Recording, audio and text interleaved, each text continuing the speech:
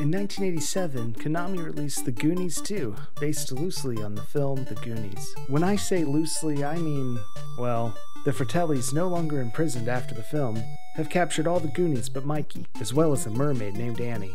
Remember Annie? In this action platformer slash first person adventure game, you control Mikey as he searches for his friends using a magic locator, explores ice caves under the Fratelli's hideout, puts on his diving suit to explore flooded caves filled with sharks, uses his hammer to bash holes in the ceiling, and throws Molotov cocktails at various animals, all in his quest to save Annie. Hey, Annie!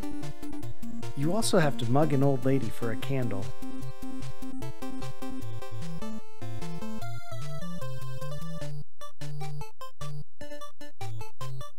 Way to go, Mikey! In reality, this game is kind of awesome.